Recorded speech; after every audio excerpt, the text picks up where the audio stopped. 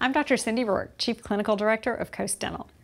The key to having a healthy smile is reducing plaque buildup in teeth. Plaque is the sticky film of bacteria that forms on teeth and multiplies deep below the gum line. Now, plaque not only causes cavities, it also causes periodontal disease, which is the leading cause of tooth loss in adults. The good news is that there's a lot you can do at home to reduce plaque. First, proper brushing is essential. You need to brush at least twice a day, and I always recommend using a sonic toothbrush.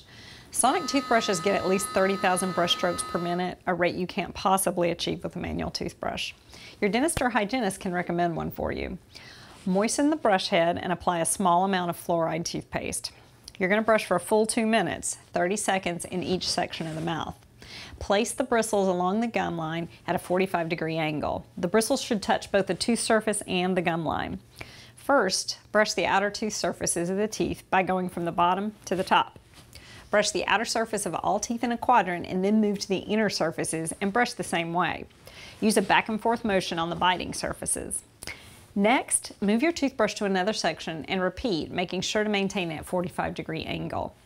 When you're done brushing, you need to floss at least once a day every day. First, gently glide the floss in between the teeth and then wrap it around first one tooth and then move to the other to remove the plaque from along the edges of each tooth.